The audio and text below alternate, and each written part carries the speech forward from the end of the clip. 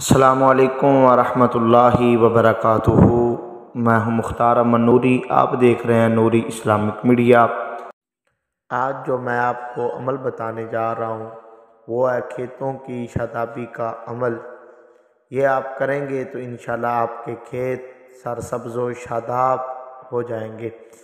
तो आपने करना क्या है कि अल्लाह पाक का इसम मुबारक या हलीम एक हज़ार मरतबा कागज़ पर लिख कर पानी में भिगो कर वही पानी आपने खेत में डालने से वो खेत हमेशा सरसब्ज शादाब रहेगा। उम्मीद करता हूँ कि आपको ये वीडियो अच्छी लगी होगी।